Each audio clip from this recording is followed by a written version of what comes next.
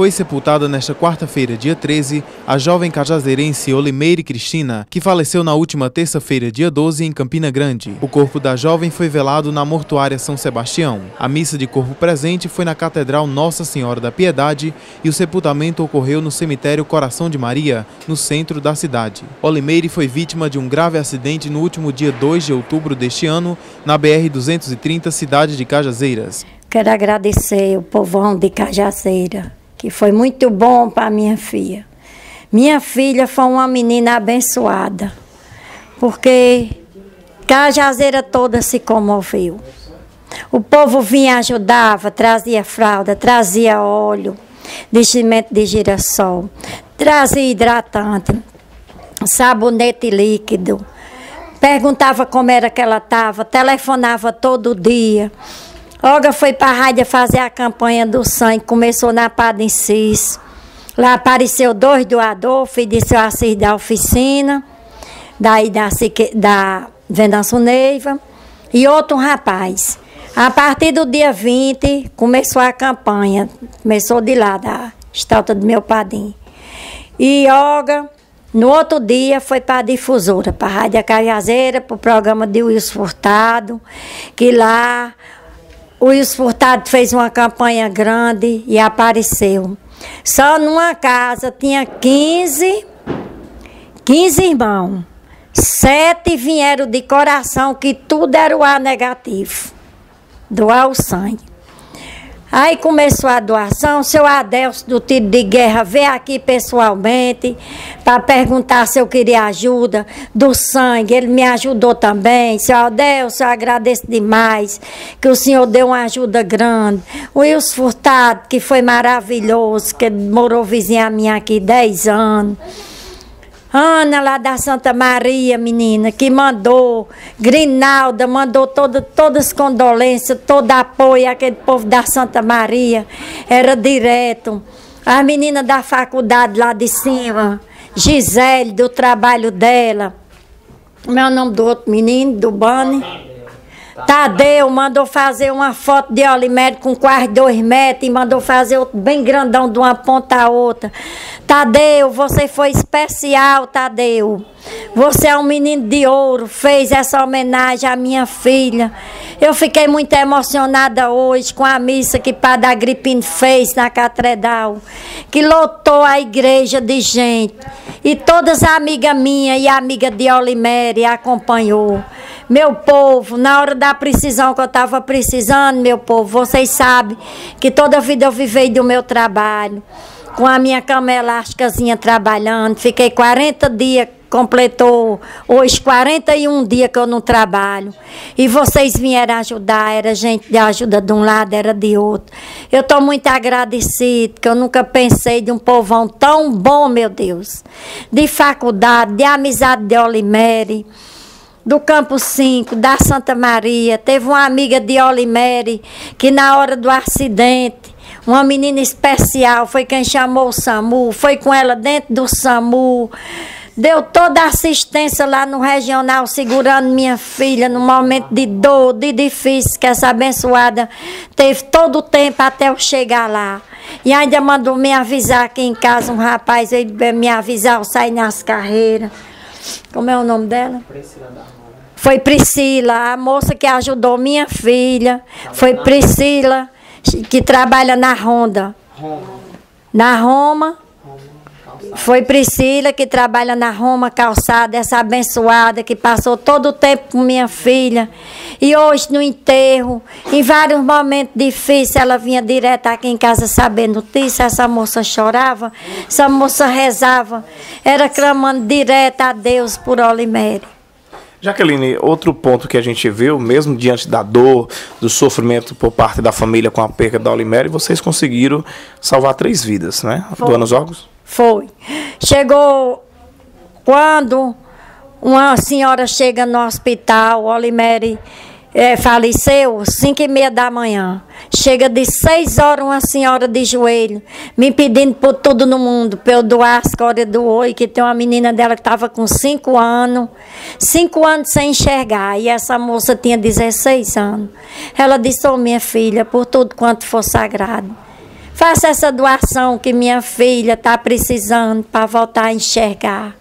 E só você é quem vai acudir, porque essa da sua filha dá certinho para minha. E chegou outra, pediu uma doação dos órgãos. E tinha outra também que estava precisando um rins. Aí falou comigo, choraram as três, me pediram. Aí eu telefonei para meu marido para combinar com ele. Aí Olga e meu marido disse: Não, Jaqueline, doe para ficar um pedaço da vida dela nessas outras que está precisando. Como eu encontrei caridade a quem me fizesse, que eu passei momentos difíceis na minha vida, amargoso, sofrido, que eu passei 41 dias sem trabalhar, meu marido também. Agora é que a gente vai levantar a, volta, a cabeça para cima, para começar a mexer a vida de novo, para trabalhar. Então eu fiz essa caridade de corpo e alma. Não pensei nem duas vezes, estou com os documentos aqui. Foi tudo documentado, tudo assinado, que eu fiz de livre e espontânea vontade e dei, doei de coração. Minha filha era uma moça muito boa, vivia do trabalho dela, do estudo, me ajudava demais. Tinha esse trabalho dela lá na faculdade, não tinha pena de me dar as coisas. Eu precisando, tome, mãe. Mãe, eu adoro a senhora. Eu não quero ver a senhora triste nem sofrendo, eu quero ver a senhora sorrindo, alegre. Ela era da alegria. Qual a mensagem agora, qual lembrança você leva de sua filha? Eu peço a toda mãe de Cajazeira que tenha paciência com suas filhas, principalmente quando é uma filha que eu perdi, que eu nunca pensei. Eu pensava assim, que eu ia trazer ela numa cadeira de roda ou em cima de uma cama, mas dentro de um caixão não. Eu não esperava isso não, porque ela vinha recuperando cada vez mais, cada dia mais, vinha rindo, todo mundo viu as fotos que foi feita. Ela era dando legal, era balançando a cabeça. Em nenhum momento ela tinha reação de morrer, ela tinha vida para viver. Inclusive, hoje também, no dia do velório de sua filha, do sepultamento de sua filha, é aniversário de um dos seus filhos. É. João Bosco, meu filho, João Bosco, ele de Almeida. É um menino bom também, que trabalha na choperia, que está completando aniversário hoje.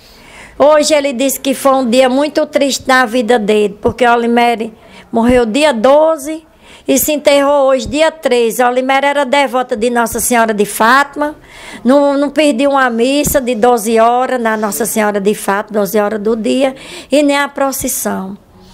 E João Bosco, ela adorava ele. Os irmãos, ela adorava. Ela era a menina alegre, feliz demais dentro de casa. Olga, ela dizia que era Tereza brincando com Olga. E, e João Bosco está completando o ano hoje. Ele disse que foi Ave Maria, um aniversário de desgosto que ele passou hoje com o enterro de Olimério. A gente deixa o espaço da TV Diário do Sertão e da Rádio Arapão FM, justamente nesse momento difícil, e agradecer a você por receber nossa equipe. Ah, meu filho, toda vez que vocês precisarem de mim, como eu precisei de vocês, e você, Ângelo, me recebeu muito bem, me deu muito apoio. Você viu que foi hora difícil, que eu estava falando a verdade, que todo mundo me conhece, que toda a vida eu vivi do meu trabalho, ensinei a meus filhos a trabalhar, para estar tá lutando a vida e vencer. Mas eu não esperava de cair num momento difícil que eu caí na minha vida que foi a batalha da minha filha. Olhe, meu povo de Cajazeira, estou muito agradecida a todos aqueles que ajudou minha filha, que foi foi acompanhando o enterro dela, acompanhando do começo até o fim, velório, missa. Foi gente demais. Eu estou muito satisfeita com isso, porque o povão todo que gostava dela acompanhou. Até o diretor do Campo 5 ficou emocionada com o enterro daquele. Flavinho, chefe dela, obrigado, Flavinho, por você e sua mãe. Compadre Deus Deto Leitão, mas Jacinta, que me deu todo apoio lá, todo o tempo dentro da igreja comigo. Minhas amizades todinha. Tadeu fez uma mensagem muito linda lá na igreja que eu fiquei emocionada chorando.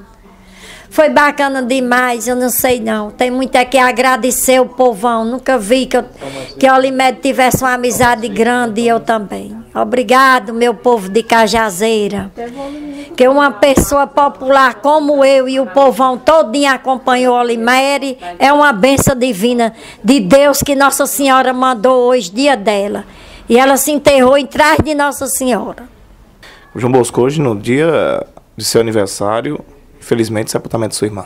Foi. Infelizmente, assim, no, no dia 13, jamais, assim, comemorar. Pensando, já estava com os planos de viagem, essas coisas, mas jamais, dia 13 agora, jamais vou comemorar. Depois daquela homenagem que fizeram aí em casa, aí, pra mim foi o melhor aniversário de todos os tempos. Pessoal batendo palma, cantando tudo junto. Pra mim ali não tem festa melhor que aquela. Mais de mil, de, de mil pessoas acompanhando o enterro. Pra, ali, pra mim aquilo ali foi mais que uma festa, né? Não como pra mim, pra toda a, a família. Solange, vem a, ou, vem a homenagem também da cantora Solange. Isso aí, me, não esperava isso tudo, né? Para uma pessoa só, o Brasil todo tá vendo isso, né? Depois que ela postou essa homenagem. E pra mim, depois daquela homenagem que fizeram aí, pra mim acho que foi o melhor aniversário de todos. Não vou Triste ter por sua irmã não estar mais com você. É. Mas eu acho que pra mim, uma hora dessa, ela deve estar tá cantando parabéns pra mim lá em cima, né? E vai continuar cantando todo dia 13 do 11.